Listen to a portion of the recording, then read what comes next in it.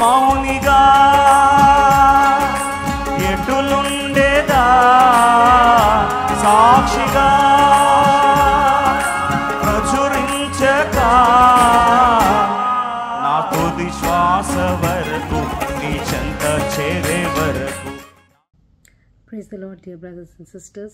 I am Dr. Aprajita, and I, on behalf of my family, would like to wish the church on this fifth anniversary of the Life Temple family.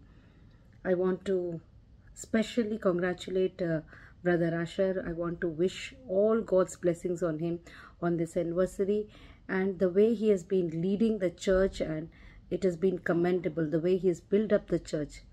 Yes, today we don't have a church building, but the people who are the true church has been built up so strongly in the word of God by Brother Asher over the last five years. I really want to thank God. I want to bless Brother Asher uh, on on this day, uh, the way you have been leading us, the way you have been strengthening our faith day after day, week after week. Thank you, brother all the messages that you have been given to giving to us and uh, the way that whenever we have any problem the the verse that you give us the way you strengthen us all through word of god. Thank you brother. And thank you uh, church for all the fasting prayer that is going on on behalf of the whole church. So uh, there are there are multiple occasions over the last year when uh, we have been strengthened as a family my father-in-law was not well. My son's first year exams and when he had a problem in the exams the way the church has been leading us in the in the exams uh, results is is really it it is uh, god's hand in all these works.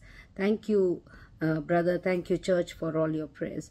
The messages that we've been hearing week after week has touched us. It is changing us as a family as personal as per, uh, personal lives in our personal lives too. And i'm sure it must be touching everyone who hears this message uh, especially the message which was the vision of god. Although it may tarry but it will come. Wait for it. And so often as human beings we think that the vision our vision is just the worldly the physical vision that we we always hope for or we always pray for but the way brother has been leading us it really uh, gives a new perspective in our uh, in our faith that god is preparing us for a bigger vision and we need to go step by step over it. That that series was has really touched me personally. And uh, another series which was uh, during uh, the exam time for my son that uh, mercy and grace when combined and the timely help that god gives us really that has that was the focus during the exam time. And it has touched us. And the all the other uh, messages about uh, repair and restoration about the uh, the eternal salvation all those messages have really touched us. God of grace that his grace is sufficient for us. Last uh, month both me and my husband were suffering from viral fever and it was going on for a long time and uh, when we heard this message that his grace is sufficient for us it really strengthened us and thank you brother for your prayer during the times that we were not doing well uh, physically I really again want to congratulate the church and uh, wish Brother Asher. And I pray that this year uh, may your messages and may your ministry touch not just the here English and the Telugu speaking, but lots and lots uh, more. Uh, people need your messages, need your healing touch through the messages. And I pray that uh, all these people will be covered by God's grace in this coming year also. Thank you, brother, and congratulations, church.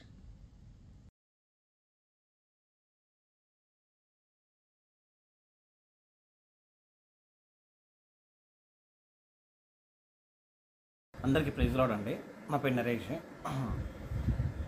మేము ఐదున్నర నుంచి వస్తు వస్తుంటాము life టెంపుల్కి. అయితే ఇక్కడ test money ఏంటంటే అక్కడ ఏదైతే నేను బిజినెస్కి ఇన్వెస్ట్మెంట్ ఇచ్చానో వాళ్ళు ఏమన్నారంటే నాకు ఫ్రాంచైజ్ ఇస్తానని చెప్పేసి అన్నారు అనమాట ఇది అనోస్ లెక్క అంటే డర్మా అండ్ స్కిన్ కేర్ లెక్క డెంటల్ కేర్ లెక్క. అయితే అది మాకు అవగాహన లేదు. అవగాహన లేకుండా కూడా మేము ఏం చేశానంటే సరే మా ఫ్రెండ్ వాళ్ళ సిస్టర్ కదా అని చెప్పేసి నేనేం చేశానంటే ఆమెతో ఒక మూమెంట్ అయిపోయాను. సర్లే మనకు ఒక బ్రాంచ్ వస్తుంది కదా ఒక బ్రాంచ్ పెట్టిస్తే బాగుంటుంది అని చెప్పేసి కేబిహెచ్బిలో మన ఏదైతే బాబాయ్ హోటల్ ఉందో ఆ బాబాయ్ హోటల్ పక్కన ఓస్కిన్ అని చెప్పేసి ఒకటి డర్మా అండ్ క్లినిక్ అని చెప్పేసి సంబంధించింది. ఉంది అయితే అప్పుడు టూ థౌజండ్ ట్వెల్వ్ మార్చ్లో మార్చ్ అండ్ ఏప్రిల్లో ఆమె ఏమన్నదంటే నీకు ఫిఫ్టీ పర్సెంట్ షేర్ ఇస్తాను నరేష్ నాకు కూడా ఒక బ్రాంచ్ ఓపెన్ అవుతుంది. ఎందుకంటే అంతా చూసుకునేది నేనే మీరు చేయాల్సిన పని ఏం లేదు ఓన్లీ మీరు డబ్బులు ఇస్తే నేను బ్రాంచ్ పెట్టిస్తాను అని చెప్పేసాను అయితే ఓవరాల్గా ఆమె forty nine lakhs fifty thousand దాకా నా దగ్గర తీసుకుంది. దానికి ఖర్చు అయింది ఓన్లీ థర్టీ ఫైవ్ ల్యాక్స్ కానీ ఇంకో ఫిఫ్టీన్ ల్యాక్స్ ఎక్స్ట్రా ఏం చేసిందంటే నా మా కూతురికి ఎంబీబీఎస్ సీట్ సీట్ వచ్చేది. ఉంది దానికి ఒక ఫిఫ్టీన్ ల్యాక్స్ ఇవ్వంటే నేను కూడా ఏం చేశానంటే సరేలే ఒక లేడీ కదా మనకి ఇచ్చేస్తుంది కదా అన్న ఉద్దేశంతో నేను ఏం చేశానంటే నా ఫ్రెండ్ని అడిగి ఒక ఫిఫ్టీన్ ల్యాక్స్ నేను మళ్ళీ తెచ్చిచ్చాను. ఆ ఫిఫ్టీన్ ల్యాక్స్ కూడా నేనే అప్పు తీర్చేశాను. తర్వాత ఆటోమేటిక్గా బ్రాంచ్ ఓపెన్ చేసుకుంది అన్ని ఓపెన్ చేసుకుంది. తర్వాత ఏం చేసిందంటే నరేష్ ఇది మీకు సెట్ కాదు ఎందుకంటే మీకు అవగాహన లేదు కాబట్టి. నేను ఏం చేశానంటే మీకు ఒక త్రీ మంత్స్లో మీ డబ్బులు మీకు రిటర్న్ ఇచ్చేసాను తర్వాత ఒక త్రీ మంత్స్ తర్వాత ఏం చేసిందంటే మాకు బ్రాంచ్కి పిలిపించి సచ్ అమౌంట్ కొంచెం ఒక అమౌంట్ ఒక one lakh fifty thousand two lakhs ఇది ఇంట్రెస్ట్ కింద పెట్టేసుకున్న నరేష్ అంటే నేనేం ఆలోచించలేదు. సరేలే ఇస్తుంది కదా అని చెప్పేసి అట్లీస్ట్ ఆ టూ ల్యాక్స్ వచ్చిందని చెప్పేసి నేను జేబులో పెట్టేసుకొని వచ్చాను. తర్వాత మెల్లిమెల్లి మెల్లిమెల్లిగా one month one month one month time exchange చేస్తూ ఉంది. డైలీ ఏదో ఒకటి చెప్తా ఉంది ఏదో ఒకటి చెప్తా ఉంది ఏదో ఒకటి చెప్తా ఉంది. సచ్ ఏ ప్రూఫ్స్ అంటే దేవుని కృప వల్ల నేను ఏం చేశానంటే ఫస్ట్ డబ్బులు ఇచ్చిన ముందు నేను as a promissory notes cheques and bond ఏదైతే బాండ్ ఉందో బాండ్ పేపర్ కూడా నేను సిగ్నేచర్ తీసుకొని తీసుకున్నాను ఈ సెవెంటీన్ మంత్స్ నుంచి వెళ్ళి ఆమెకి ఆల్రెడీ కేసులు ఉన్నాయి ఆల్రెడీ అప్పు ఉంది అన్నీ ఉన్నాయని చెప్పేసి నాకు తెలియదు నాకు ఎవరు చెప్పలేదు. నేను ఆమె డాక్టర్ అని చెప్పేసి చెప్పింది. కానీ డాక్టర్ కాదు ఆమె. ఆమె హోల్ని అక్కడ చూసుకుంటుంది. ఎందుకంటే మీరు డాక్టర్ కాకుండా ఏంటంటే ఒక ప్రొఫెషన్ లెక్క చూసుకుంటుంది అనమాట నాకు డాక్టర్ చెప్పి డాక్టర్ సర్టిఫికేట్ కూడా చూపించింది. అలా డాక్టర్ సర్టిఫికేట్ చూపించిన తర్వాత డాక్టర్ కదా మోసం చేయరు కదా అనే ఉద్దేశంతో నేను ఏం చేశానంటే ఆమెకి అంత డబ్బు ఇచ్చేసాను డబ్బు ఇచ్చిన తర్వాత ఆమె ఒక సెవెంటీన్ మంత్స్ ఆల్మోస్ట్ నాకు టూ అండ్ హాఫ్ ఇయర్స్ అయితే నేను ఎప్పుడైతే టూ థౌజండ్ ట్వంటీ టూ ఉందో ఆ టూ థౌజండ్ ట్వంటీ టూలో నేను లాక్డౌన్ ముందు దర్శన భాగం ఇచ్చాను. లాక్డౌన్ తర్వాత నేను దర్శన భాగం మానేశాను. ఎందుకంటే నేను ఆల్మోస్ట్ నేను దేవుని సేవ చేశాను ఆంధ్రాలో పరిచయం చేశాను. అంటే పాస్టర్ ఏదైతే మా ఇంట్లో వాళ్ళందరూ పాస్టర్సే మా అందరు మా ముగ్గురు ఉన్నారు ముగ్గురు పాస్టర్సే. అందరి దగ్గరికి వెళ్ళాను చేశాను. ఇంతకుముందు దర్శన భాగం ఇచ్చాను అన్నీ చేశాను.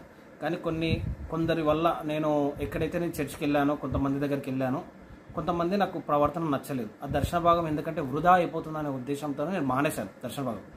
ఆ దర్శన భాగం నేను ఏం చేశానంటే దేవుణ్ణి సొమ్ము నేను ఇవ్వలేదు నేను. అంటే దొంగలించాను. తర్వాత నాకు అనిపించింది ఎప్పుడంటే ఏదైతే లైఫ్ టెంపుల్ ఉందో కేబిహెచ్వి బాబాయ్ హోటల్ పక్కన అక్కడ అంటే నాకు ఎప్పుడు సండేనే ఫ్రీ ఉంటాను నేను. సండే వస్తున్నాను. నేను ఎందుకంటే చర్చ్ ఇక్కడ వెళ్ళట్లేదు. ఎందుకంటే సండే ఫ్రీ ఉంటానని చెప్పేసి అంత దూరం వస్తున్నాను. సరేలే సండే ఇక్కడ ఇక్కడ ఏ చర్చ్ బాగుంటుందని చెప్పేసి చాలామంది కనుక్కుంటే అంటే కేపీహెచ్బిలో ఉంది. కలబరి టెంపుల్ ఉన్నాయి. అక్కడ చాలా ఉన్నాయి. కానీ నాకు ఇక్కడ అర్థమైందంటే నేను అన్ని చర్చలు తిరిగాము కాబట్టి. సరే ఏ చర్చ్ బాగుంటుంది అనే ఉద్దేశంతో చూస్తే బుట్ట కన్వెన్షన్లో లైఫ్ టెంపుల్ అనేది చర్చ్ బాగుంటుందండి. చాలా బాగుంటుంది అని చెప్పేసి అంటే లైఫ్ టెంపుల్కి స్టార్ట్ అయ్యామండి. ఫస్ట్ నేను ఏం చేశానంటే ఒక టూ మంత్స్ త్రీ మంత్స్ మా వైఫ్ని నేను రాను. ఎందుకంటే చాలా జర్నీ కార్ జర్నీ చేయాలంటే కావట్లేదు. కొన్ని రోజులు మెట్రోలో వచ్చాను. కొన్ని రోజులు కార్ జర్నీ వచ్చాను. ఆ కార్ జర్నీ కూడా నేను ఏం చేశానంటే కార్ జర్నీ వచ్చేటప్పుడు కూడా మా వైఫ్తో ఊరికి నేను ఏదో ఒకటి ఇష్యూ ఎందుకు ఇంత డ్రైవింగ్ చేయాలి? ఎందుకు నేను లైఫ్ టెంపుల్కి రావాలి? ఇంత దూరం నీ వల్ల నేను వస్తున్నాను? అది నీ కోసమే వస్తున్నానని చెప్పేసి ప్రతిసారి నీ కోసం నీ కోసం నీ కోసం అని చెప్పేసి నేను చాలాసార్లు అన్నాను. బాధపడింది.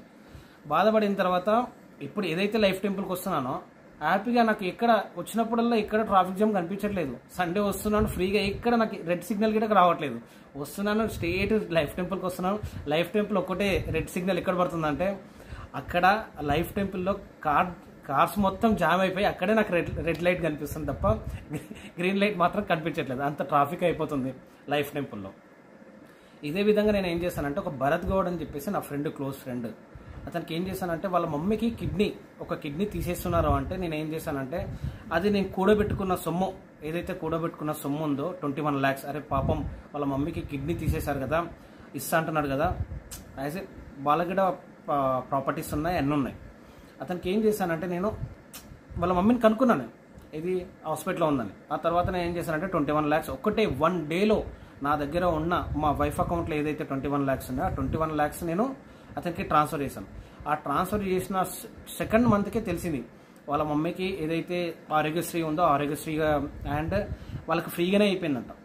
వాడు ఏం చేశాడంటే ఒక సెవెన్ నెంబర్స్ ఎయిట్ నెంబర్స్ దగ్గర ఆల్మోస్ట్ ఒక టూ క్రోర్స్ అంటే వన్ పాయింట్ ఫైవ్ నుంచి టూ క్రోర్స్ మధ్యలో అతను ఒక ట్రేడింగ్లో పెట్టి మొత్తం లాస్ చేసేసాడు. అది నాకు తెలియదు ఆ సెవెన్ నెంబర్ సిక్స్ నెంబర్స్ ఏం చేశారంటే వాళ్ళు ట్రేడింగ్ చేశారా ఏం చేశారా నాకు సంబంధం లేదు. వాళ్ళ గురించి నాకు తెలియదు ఆ తర్వాత సెకండ్ మంత్ తర్వాత నేను ప్రెషర్ పెట్టాను. ఏందిరా ఇట్లా చేసావంటే అట్లా చేసావంటే నా డబ్బులు నాకు ఇవ్వచ్చు కదా అని చెప్పేసి. అతను ఏమన్నా నాకు ఒక అప్పటి నుంచే చెప్పాడు. అరే నేను ఏదో ఒకటి చేస్తా ఏదో ఒకటి చేస్తా ఏదో ఒకటి చేస్తా. కానీ ఒకరోజు బెంగళూరులో దాచుకుంటున్నాడు ఒకరోజు ఊటీకి వెళ్ళాడు ఒకరోజు నైనాతాల్ వెళ్ళాడు ఒకరోజు జైపూర్కి వెళ్ళాడు.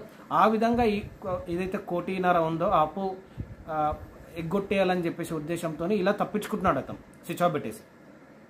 తర్వాత ఏమైందంటే ఏదైతే నేను అంటే నేను రీసెంట్గా దర్శన భాగం స్టార్ట్ చేశాను నేను.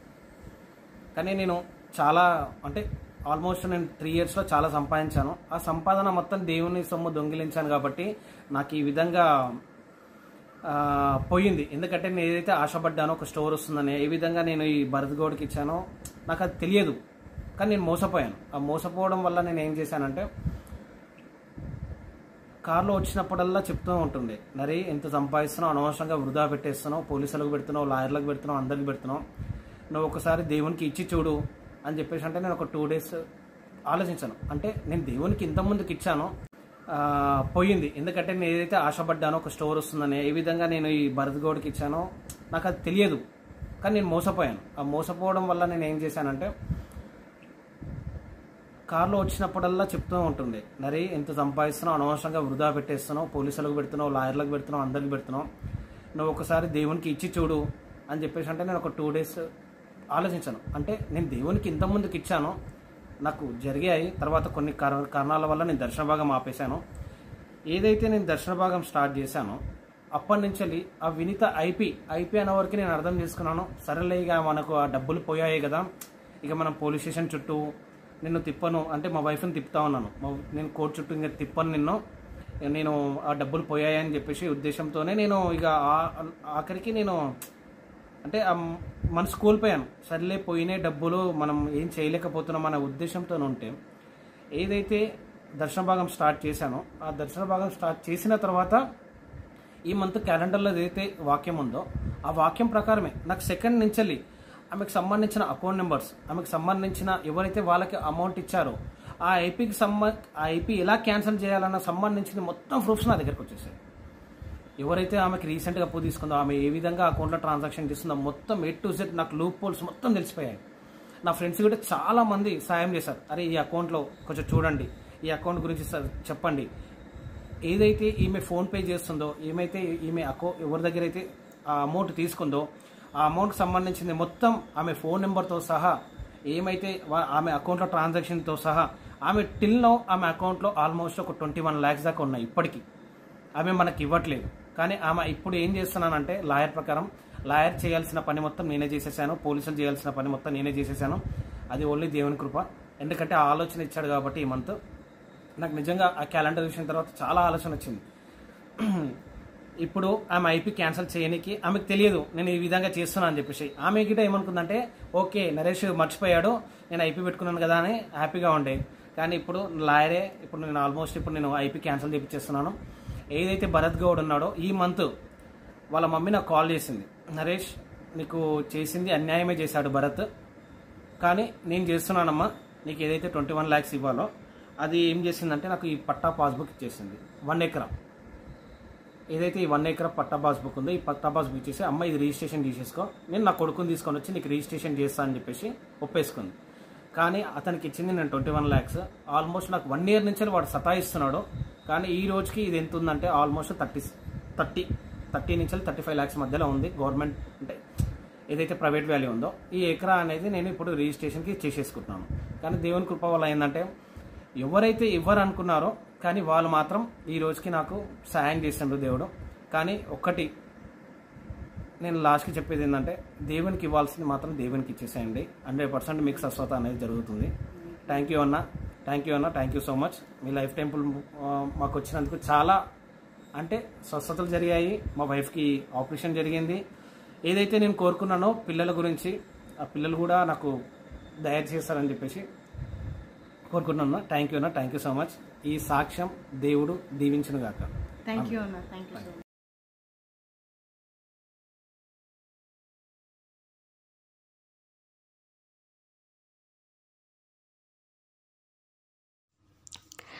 praise Lord brother నా పేరు పద్మ. నా హస్బెండ్ పేరు రాజేష్. మేము ముంబైలో ఉండేవాళ్ళం.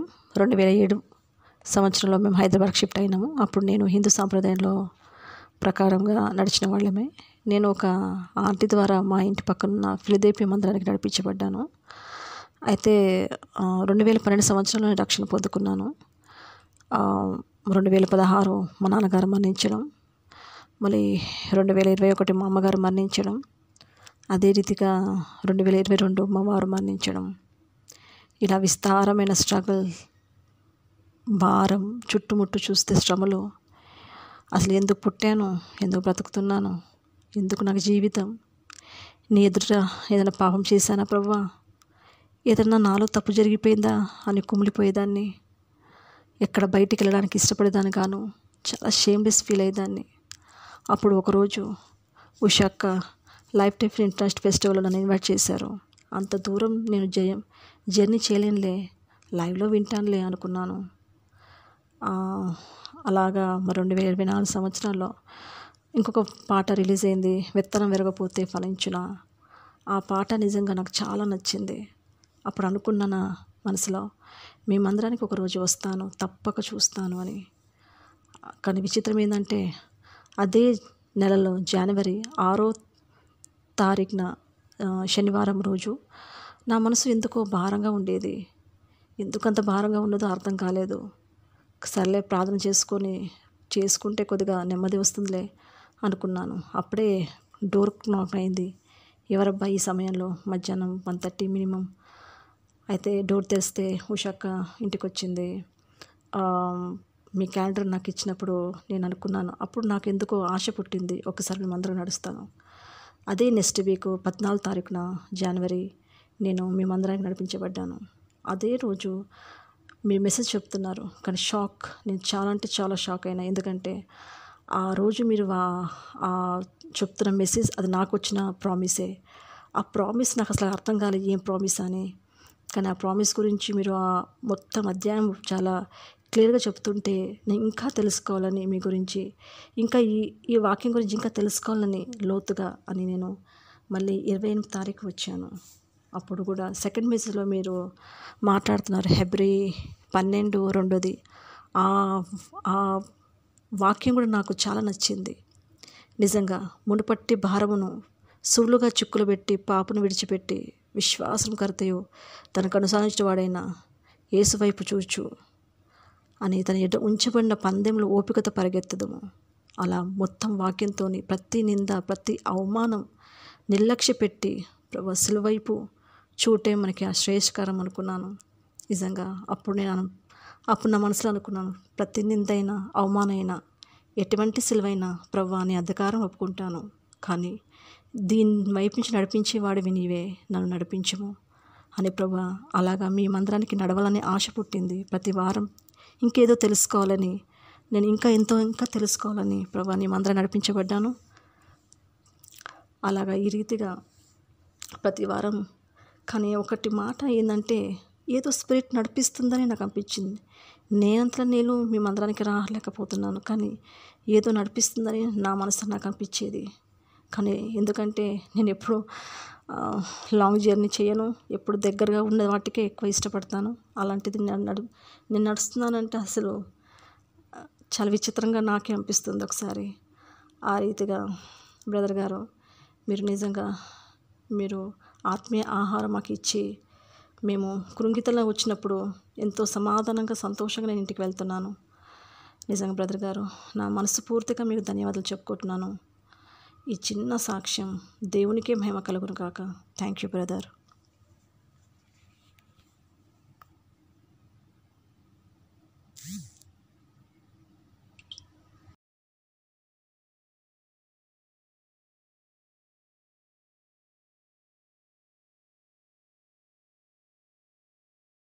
ప్రభు యేసుక్రీస్తు నామములో లైఫ్ టెంపుల్ కుటుంబ సభ్యులందరికీ ప్రైజ్ లాడ్ పేరిస్తే నేను ఒక టూ త్రీ ఇయర్స్ నుండి లైఫ్ టెంపుల్కి రావడం జరుగుతుంది. ఇంతకుముందు తక్కువ అటెండ్ అయ్యేదాన్ని ఇప్పుడు కంటిన్యూగా వస్తున్నాను. జనవరిలో నాకు తీవ్రమైన అనారోగ్యం రావడం జరిగింది. బాగా సిక్ అయ్యాను. దేవుడు నాతో మాట్లాడాడు. ఇంకప్పటి నుండి నా కమిట్మెంట్ని పెంచుకున్నాను దేవుని సంధికి రావడానికి. మన హైదరాబాద్లో ఉండడానికి దేవుడు అవకాశాలు ఏర్పాటు చేశాడు. అయితే నేను కొంచెం లాంగ్లో ఉంటున్నాను. మరి దేవుని సంధికి నేను కంటిన్యూ అయ్యేటట్లు ప్రార్థన చేయండి. దేవుడు నాకు సంపూర్ణ స్వస్థ ఇచ్చాడు వింటున్న లైవ్ మాటలు తర్వాత ఆరాధనలు ఇవన్నీ కూడా నా జీవితానికి ఎంతో ప్రయోజనకరంగా ఉన్నాయి. దేవుడు ఎంతైనా నమ్మదగిన వాడు నిత్యము వాక్య అవగాహనతో ఉన్న దేవుని సన్నిధి కావాలని నేను అడిగినప్పుడు నాకు అనుగ్రహించారు. మరి ఇంకా లోతైన దేవుని సాన్నిధ్యాన్ని నేను అనుభవించినట్లు దేవుని కార్యాలు బలమైన నేను చూచినట్లు నా కోసం ప్రార్థన చేయండి. థ్యాంక్ యూ వన్ అండ్ అన్న.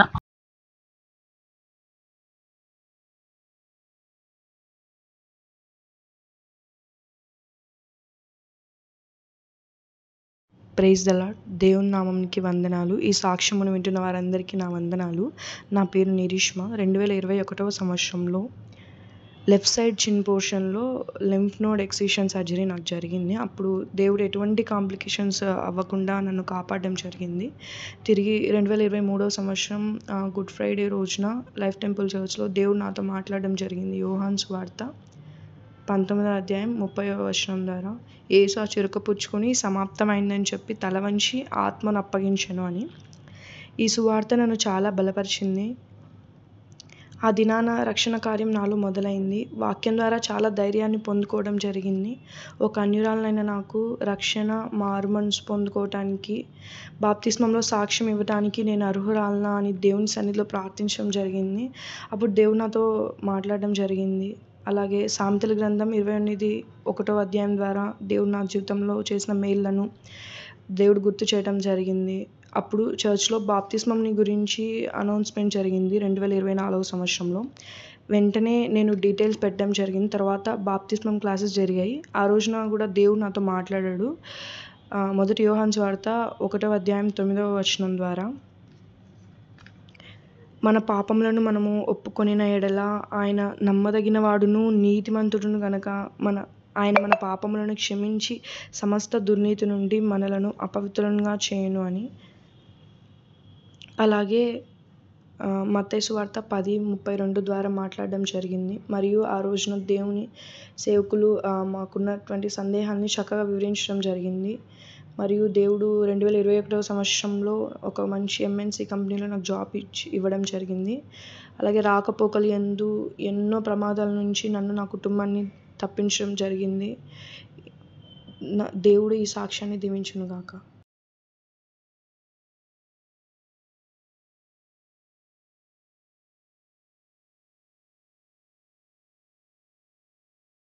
Praise the Lord my name is Nikita, and my husband's name is Shrikant. We have a five year old son. His name is Ivan, and um, God has been gracious to us throughout this year. We have been through a lot of ups and downs, but coming to Life Temple and being rooted in God's word, delivered by Dr. Asher Andrew, we were able to come out of all the difficulties. Uh, basically, we tried to put everything we learned on a Sunday into practice which we believe it has made our lives so much better. And uh, coming to our testimony, my husband Shrikant was laid off from his previous organization, and we were of we were all kind of both mentally and financially disturbed. And we as a we have been married for six years now, but this is the first time we as a family, including my son, all of us together knelt down to pray and ask God to show us some way. And in a span of 20 days, we he got another offer. So glory be to God. And adding to this, we were also able to set up a small business. We thank God for providing us in times of need and supplying all our needs according to His riches in heaven. We thank God almighty and the Life Temple for giving us an opportunity to share this testimony thank you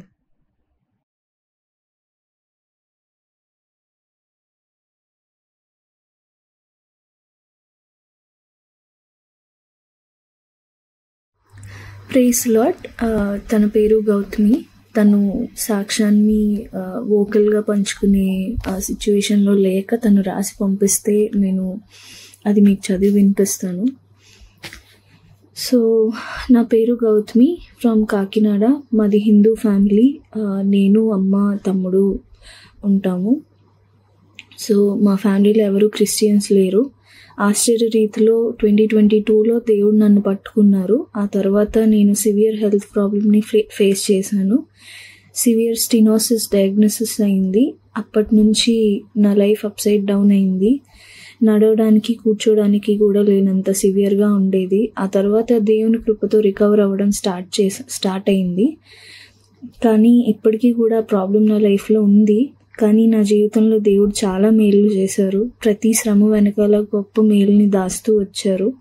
మా friend ద్వారా నేను life టెంపుల్కి twenty twenty three ఏప్రిల్లో వచ్చాను for the first time నేను అప్పుడు experience చేసిన హోలీ స్పిరిట్ని మళ్ళీ నా లైఫ్లో ఎప్పుడూ ఎక్స్పీరియన్స్ చేయలేదు. నాకు నిజమైన ఆత్మీయ ఆహారం అక్కడే దొరికింది. ఆ రోజు ప్రతి వర్డ్ నాతోనే మాట్లాడినట్టు అనిపించింది. వన్ ఆన్ వన్ కాన్వర్జేషన్ లాగా నాకు దేవుడికి. ఆ రోజు ఆత్మలో ఇన్వాల్వ్ అయ్యి ఆరాధించడం నేను ఎక్స్పీరియన్స్ చేశాను. అది నాకు ఒక great experience my life time ఆ తర్వాత మళ్ళీ ఆఫ్లైన్ రావడం నాకు అవ్వలేదు. నేను ఎవ్రీ సండే ఆన్లైన్లో వింటాను. ఎవ్రీ వీక్ నాతో దేవుడు మాట్లాడతారు. ఒక్క వీక్ కూడా లేదు మెసేజ్ నాతో మాట్లాడకపోవడం. మా ఫ్యామిలీ అందరూ హిందూస్ కాబట్టి నాకు చ ఇంట్లో చాలా వ్యతిరేకతలు వచ్చేవి. సాతాన్ నన్ను ఫిజికల్గా మెంటల్గా అండ్ స్పిరిచువల్గా చాలా అటాక్స్ చేసేవాడు. వాటిలో నేను కృంగిపోకుండా ధైర్యంగా ఉండగలిగానంటే one of the reason brother messages and Life Temple so every week నేను మెసేజ్తో బలపడేదాన్ని. ఆ శ్రమలో నిరీక్షణతో ఉండటానికి ఎవ్రీ వీక్ మెసేజెస్ నాకు చాలా హెల్ప్ అయ్యాయి. నేను నేర్చుకున్న కొన్ని ఎక్స్పీరియన్సెస్ షేర్ చేసుకుంటాను. ఒక బిగ్ లెసన్ నేను నేర్చుకుంది ఏంటంటే దేని గురించి కూడా చింతపడద్దు. ఆల్రెడీ అన్నీ ఆయన శిలువలో సమాప్తం చేశారు అని. గుడ్ ఫ్రైడే అండ్ ఈస్టర్ వాక్యం నన్ను చాలా స్ట్రాంగ్ చేసింది. నాకు ధైర్యాన్ని ఇచ్చింది. ఇంకా నాకు డెసిషన్ మేకింగ్ విషయంలో కూడా హెల్ప్ అయింది. నాకు ఉన్న హెల్త్ ఇష్యూతో పాటు దేవుణ్ణి బిలీవ్ చేస్తున్నానని ఫ్యామిలీలో ప్రెషర్ బాగా ఉండే టైంలో బ్రదర్ సాంగ్ విత్తనం విరగకపోతే అండ్ తల్లిల ఆదరణ సాంగ్ నన్ను చాలా బలపరిచాయి. ఇంకా ఇంకొక పాయింట్ ఏంటంటే నేను చాలా సెన్సిటివ్గా ఉండేదాన్ని. అలాంటిది ఇప్పుడు స్ట్రాంగ్ అయ్యాను. నా ఫ్యామిలీ మెంబర్స్ షాక్ అవుతున్నారు. ఇన్ని ట్రీట్మెంట్స్ కానీ ఇన్ని ఎలా భరిస్తుంది ఫిజియోథెరపీ అలాంటివన్నీ ఇంత ధైర్యం ఎక్కడి నుంచి వచ్చింది అని వాళ్ళే షాక్లో ఉన్నారు. అలా దేవుడు శ్రమ ద్వారా నన్ను ఎంతో స్ట్రాంగ్ చేశారు.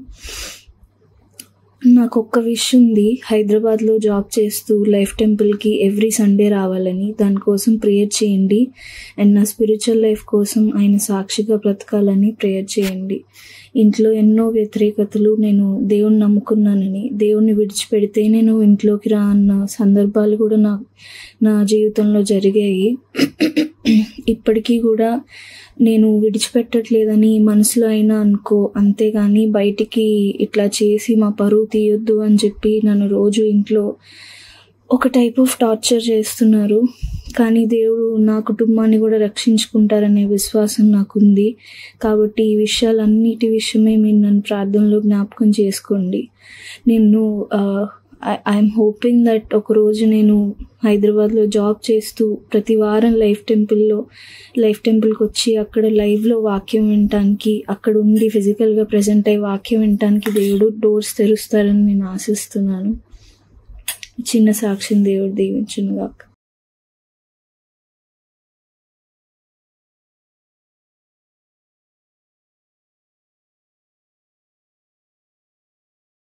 అందరికీ ప్రైజ్ లాడ్ నా పేరు కళ్యాణి. మాది నెల్లూరు. ఈ సంవత్సరం కూడా దేవుడు చేసిన మేలును జ్ఞాపకం చేసుకోవడానికి దేవుడి అవకాశాన్ని ఇచ్చినందుకు దేవునికి వందనాలు తెలియజేస్తున్నాను.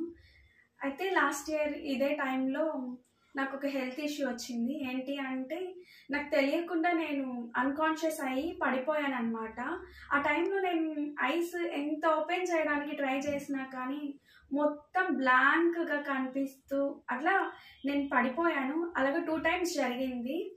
అప్పుడు న్యూరాలజిస్ట్ని కలిసినప్పుడు వాళ్ళు ఎంఆర్ఐ స్కానింగ్ చేసి కొంచెం నర్వ్ డిస్టర్బెన్సెస్ వలన అలా జరిగింది. ఏని నథింగ్ సీరియస్ అని చెప్పారు.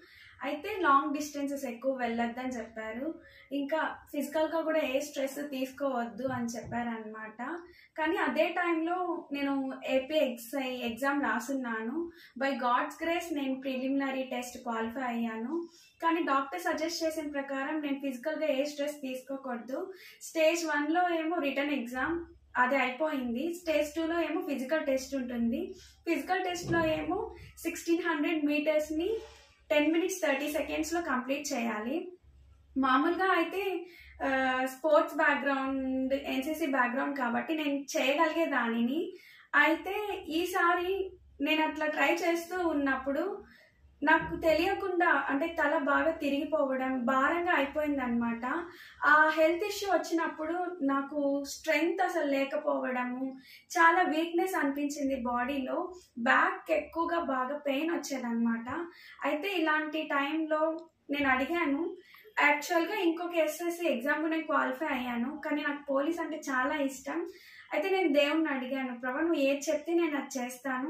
ఎందుకంటే నా శక్తిని బట్టెక్తే నేను చేయలేనని నేను అడిగినప్పుడు ఆ రోజు నా డైలీ పోషన్ ప్రసంగి పదకొండు ఆరులో నీ చేయి వెనక్కి తీయకుండా విత్తుమా? అని దేవుడు నాతో మాట్లాడాడు. కనుక నేను అటెంప్ట్ ఇవ్వాలని నేను ట్రై చేశాను అనమాట ట్రైనింగ్ ఎంత కష్టం ఉన్నా కానీ నేను ఒకటే అనుకున్నాను దేవుడు చేయి వెనక్కి తీయకుండా విత్తమన్నాడు. సో నేను ట్రై చేయాలి అని నేను ట్రై చేశాను. దేని కృపను బట్టి బాగా జరిగింది. ఫైనల్గా ఫిజికల్ టెస్ట్లో నేను అటెంప్ట్ ఇవ్వాలి.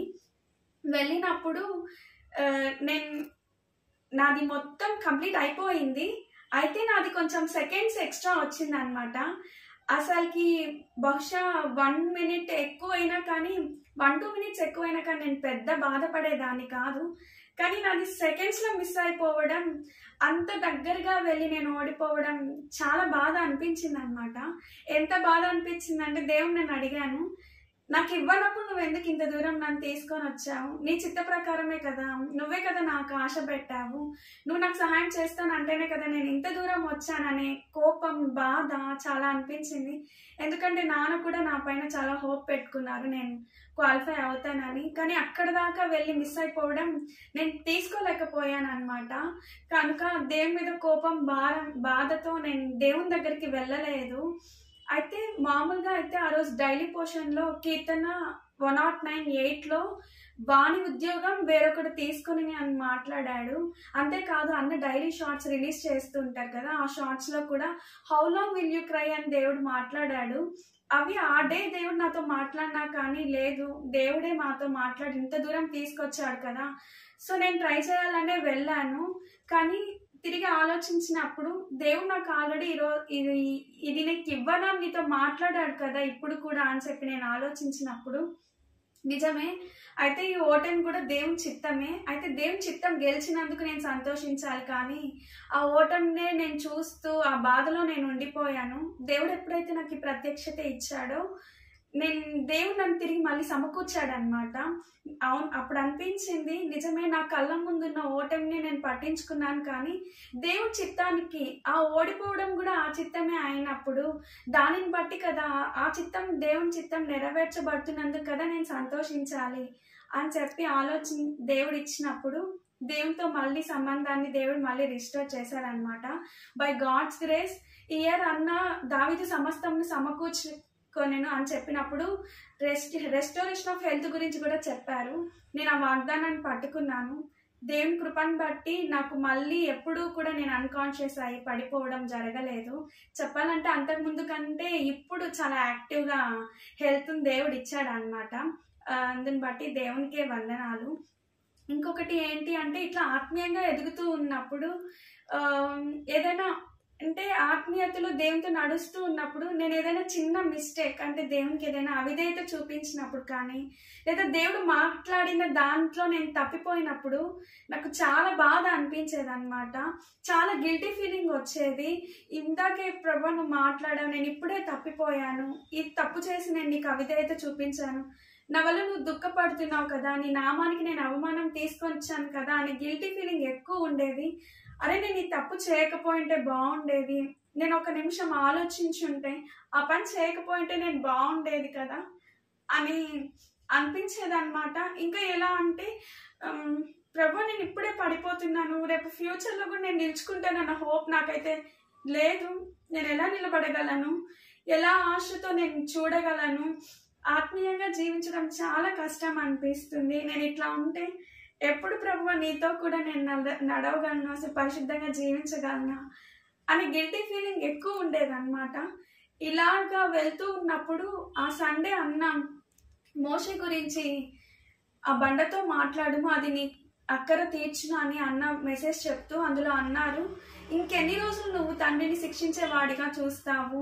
ఆయన మనకి ఇచ్చింది దత్తపుత్రాత్మను దాస్యపు ఆత్మను కాదు.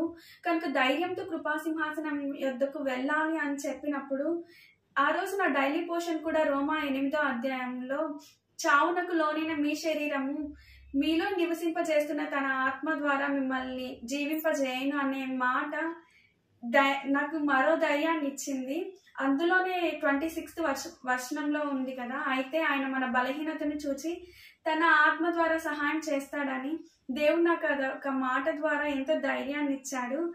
అంతకు ముందుకి ఇప్పటికి డిఫరెన్స్ ఏం చూడగలుగుతున్నాను అంటే నేను వెంటనే నన్ను క్షమించుకోగలుగుతున్నాను. దేవుడు క్షమాపణ కోరుకొని వెనకున్న మర్చిపోయి ముందుకి వెళ్ళడానికి దేవుడు కృప అనుగ్రహిస్తున్నాడు అనమాట నిజమే. అప్పుడు అనిపించింది he didn't call me because I'm perfect he call me to make me perfect into his image అని. నిజమే నేను సరి అయిన దానినని కాదు దేవుడు పిలుచుకుంది. నాలో ఎన్నో లోపాలు ఉన్నాయి. అయినా కానీ సరి అయిన దానిగా చేసుకోవడానికి ఆయన నన్ను పిలుచుకున్నాడు తన రూపులోకి మార్చుకోవడానికి అని. అప్పటి నుంచి దేవునితో ఎంత ఆత్మీయంగా నేను ఆ ఆత్మీయ అనుబంధాన్ని స- అనుబంధంలో నేను సంతోషించగలుగుతూ ఉన్నాను. ఇంకా ఫైనల్గా మేము ఆల్ నైట్ ప్రేయర్కి వెళ్ళాము. వెళ్ళినప్పుడు అక్కడ నేను ఒక ప్రేయర్ రిక్వెస్ట్ ఇచ్చాను అనమాట మా అక్క మ్యారేజ్ కోసం. అయితే సంఘం అంతా కూడా ఏకీభవించారు. ఆ రోజు చేసిన ప్రార్థనని దేవుడు ఒక నెల కాకముందే జవాబు దయచేశాడు. వెంటనే ప్రపోజల్ రావడం దేవుడు మాకు సమాధానం ఇవ్వడము సమాధానం ఇవ్వడం కాదు. ఈ జూలై సెవెంటీన్త్ మా అక్క ఎంగేజ్మెంట్ చాలా ఆశ్చర్యంగా జరిగింది అనమాట మేమైతే ఇంటి దగ్గర మామూలుగా జరిగి చే- చేద్దాం అనుకున్నాం. అయితే వర్షం పడడం వలన టూ డేస్ ముందు ఫంక్షన్ హాల్ కోసం వెళ్ళాల్సి వచ్చింది నేను ఒకటే ప్రార్థన చేసుకున్నాను. అన్న ఇంటర్నేషనల్ ఫెస్టివల్స్ అప్పుడు ఎహోవా ఈరే అన్న వాగ్దానం దేవుడు సంఘానికి ఇచ్చాడు అని నేనైతే అదే ప్రేయర్ చేసుకుని వెళ్ళాను. దేవుడు ప్రతి చిన్న విషయంలో ఎహోవా ఈరేగా అన్ని చూసుకున్నాడు అనమాట ఫైనాన్షియల్ సపోర్ట్లో కానీ అంతట్లో సమాధానం ఇచ్చి ఆయనకు మహిమకరంగా జరిగించాడు. అడుగు వాటికంటే ఊహించు వాటికంటే దేవుడు అత్యధికంగా చేస్తాడు అన్న వాగ్దానాన్ని మేము మా కుటుంబం ఆ రోజు అనుభవించాము. అంతేకాదు మీటింగ్స్లో అన్న ఒక మాట అన్నారు. ఏంటి అంటే లోకం ఎప్పుడైనా కానీ ముందు ప్రొవిజన్ని చూస్తుంది తర్వాత సిద్ధపడుతుంది. కానీ దేవుడు మనల్ని కూడా మనల్ని ఎప్పుడు ఫెయిత్ ముందు చూస్తాడు తర్వాత ప్రొవిజన్ ఇస్తాడు అది ఆయన చిత్తం అయితే అని. మేము అదే నమ్మాము. ఈ వివాహం ఆయన చిత్తం అయితే ఆయన సమస్తం సమకూడి జరిగిస్తాడు అని ఆ విధంగానే దేవుడు జరిగించాడు. అందుని బట్టి దేవునికి మహిమ కలుగును గాక. ఒకప్పుడైతే ప్రభు నాకు అది ఇవ్వండి ఇది ఇవ్వండి అని నేను కోరుకునేదాన్ని. కానీ ఇప్పుడైతే దేవ నన్ను ఖాళీగా ఉంచండి. మీతో ఈ ఆత్మీయ సహవాసమే నాకు చాలా సంతోషంగా ఉంది అని అనిపించే విశ్రాంతిలోనికి దేవుడు నన్ను నడిపించాడు. ఇంత ఆత్మీయంగా దేవుడు లైఫ్ టెంపుల్ ద్వారా నన్ను పోషిస్తున్నాడు. అందుని బట్టి దేవునికి ఆశీర్వాదకి నా వందనాలు. లైఫ్ టెంపుల్ ఫ్యామిలీ మెంబర్స్ అందరికీ హ్యాపీ ఫిఫ్త్ యానివర్సరీ. ఈ అవకాశాన్ని ఇచ్చిన దేవునికి నా వందనాలు.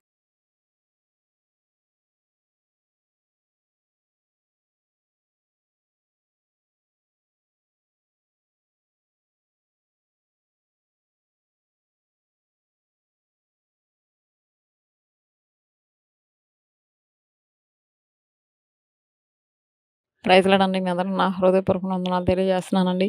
నాకు ఈ అవకాశం ఇచ్చిన దేవునికి ఆశారన్ వాళ్ళకి లైఫ్ టెంపుల్ మెంబర్స్ అందరికీ కూడా నా కృతజ్ఞతలు తెలియజేస్తున్నానండి. I'm Rani Samyuktha in from Guntur అండి ఈ ఫ్యామిలీ మెంబర్ అండి ఎవ్రీ వీక్ నేను ఆశారన్ వాళ్ళ మెసేజ్ సాంగ్స్ వింటూ వాటి వల్ల ఎంతో బలపరచబడుతున్నానండి. ఒమేక్రాన్ వచ్చినప్పుడు నీవే నా ఔషధం అనే సాంగ్ ద్వారా ఎంతో ఆదరించబడ్డానండి. నీవే నా ఇంకా ప్రతి ఒక్క సాంగ్ ప్రతి ఒక్క మెసేజ్ ఎంతో ఆధ్యాత్మికంగా నేను ఎదగడానికి నాకు ఉపయోగకరంగా ఉంటుందండి. ఒక్క వారం మెసేజ్ వినిపోతే ఏదో పోగొట్టుకున్నట్టు ఏదో వెలితిగా నాకు అనిపిస్తుందండి. వ్యక్తిగతంగా నా జీవితంలో జరుగుతున్నదే మెసేజ్ ద్వారా నేను వింటున్నాను అనిపిస్తుందండి నాకు. ఇంకా అబ్బా తండ్రి అనే సాంగ్ ఒమెక్రాన్ వచ్చినప్పుడు నేను చేసుకున్న ప్రేయర్ అండి. ఒకటి కాదు లైఫ్ టెంపుల్కి మేము ఇచ్చే ప్రతి ఒక్క ప్రేయర్ రిక్వెస్ట్కి కూడా సమాధానం రావడం మేము చూస్తున్నామండి. నాకు ఈ అవకాశం ఇచ్చిన ఆశీర్ వాళ్ళకి లైఫ్ టెంపుల్ మెంబర్స్ అందరికీ మరోసారి థ్యాంక్స్ తెలియజేస్తూ నా కొద్ది సాక్ష్యాన్ని ముగిస్తున్నానండి. నా చిన్న సాక్ష్యాన్ని దేవుడు దీవించిన కాక ఆమె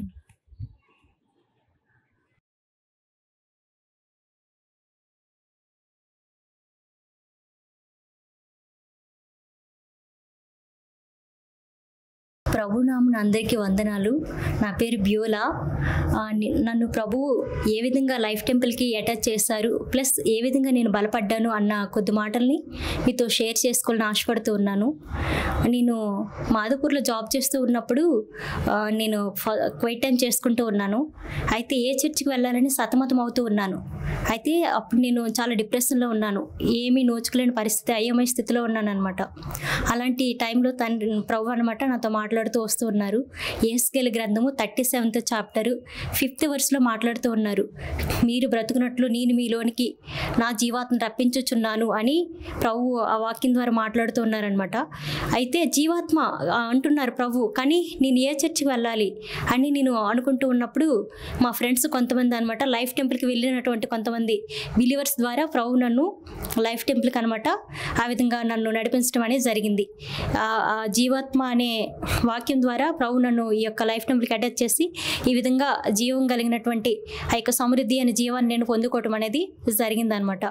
నేను ఏ విధంగా బలపడ్డానంటే నేను ఎటువంటి నా భవిష్యత్తు గురించి ఆలోచనతో ఉన్నానమాట ఏంటి ప్రభు నా భవిష్యత్తు ఏమైపోతుంది అని అటువంటి ప్రశ్నలో ఉన్నప్పుడు ప్రభు అనమాట మాట్లాడుతూ వస్తూ ఉన్నారు. Life Temple messages Sunday messages ద్వారా.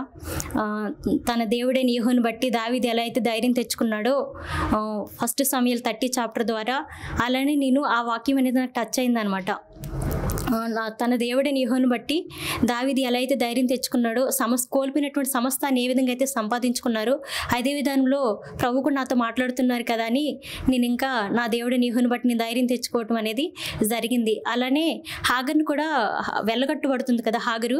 తను వెళ్ళగట్టుబడినప్పుడు తన కుమార్ని కింద పడేస్తే ప్రభు తనతో మాట్లాడతాడు కదా. హాగరు భయపడకము లేచి నీ కుమార్ని లేవనెత్తి చేతి పట్టుకుని చేతి పట్టుకును అతను గొప్ప జనంగా చేస్తారని హాగర్తో ప్రభు మాట్లాడుతూ ఉన్నప్పుడు నాకు కూడా ఆ విధంగా ప్రభు నాతో మాట్లాడడం జరిగిందనమాట. ఇదిగో బ్యూలా నువ్వు లేచి నీకు ఇచ్చినట్టు వాగ్దాన వాగ్దానాలన్నిటి నువ్వు కింద పడేస్తావు ఆ వాగ్దానాల మూట నీ చేత పట్టుకొని ఎత్తి పట్టుకుని ప్రార్థించు అని ప్రభు నాతో మాట్లాడుతూ ఉన్నప్పుడు నేను వాటన్నిటిని నాకు ఇచ్చిన వాగ్దానాలన్నింటినీ నేను నా చేత పట్టుకుని అన్నిటినీ నేను ఇంకా ప్రార్థించడం అనేది ఆ విధంగా కొన్ని బలహీనతలు బలహీనతల నుండి విడుదల పొందటము అలాగే నేను విశ్వాసంలో బలపరచబట్టము ధైర్యపరచబట్టము జరిగిందనమాట. ఆ విధంగా ప్రభు నన్ను అలాగే నిర్గమకాండం ద్వారా కూడా కూడా అది నీ ఆ బండతో మాట్లాడు అది నీ అక్కర తీర్చును అని ప్రభు నాతో మాట్లాడడం జరిగింది. ఆ విధంగా నా అక్కలు తీర్చబట్టము. అలానే ప్రభుని స్తుతించు నీ స్థితి మారుతుంది అని. ఆ స్థితి అనేది నువ్వు సాక్ష్యం చెప్పినప్పుడు ఆ సాక్ష్యమే దేవుని సన్నిధి. ఆ దేవుని సన్నిధి కలిగి ఉన్నప్పుడు నీ గమ్యం అనేది గల్లంతం కాకుండా నువ్వు రైట్ డెస్టినేషన్కి చేరుకుంటావని ప్రభు నాతో మాట్లాడడం జరిగిందనమాట. సో ఆ విధంగా నువ్వు అనుభవపూర్వకంగా వెళ్తే నువ్వు కన్ఫ్యూజన్లో పడతావు. నువ్వు దేవుని సన్నిధిని కలిగి ఉన్నప్పుడు ఆ యొక్క సాక్ష్యాన్ని నువ్వు చెప్పినప్పుడు నీ గమ్యము గల్లంతం కాకుండా రైట్ డెస్ డెస్టినేషన్కి ప్రభు చేర్చుతాడని ప్రభు నాతో మాట్లాడటం వల్ల ఆ విధంగా నేను ఈరోజు మీ ముందు సాక్ష్యం చెప్పడానికి ప్రభు నాకు అవకాశాన్ని దయచేస్తారు ఈ యొక్క సాక్ష్యాన్ని దేవుడు దీవించును గాక. మౌనిగా ఎటులుండేదా? సాక్షిగా ప్రచురించక